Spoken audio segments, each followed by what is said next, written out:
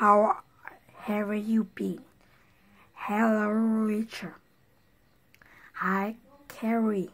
How have you been? Not too good. Why? I'm sick.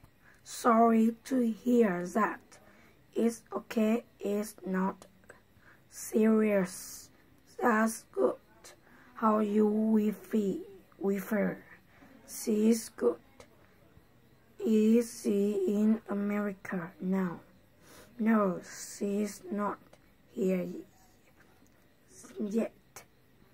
Where is she? She in Canada with your kids.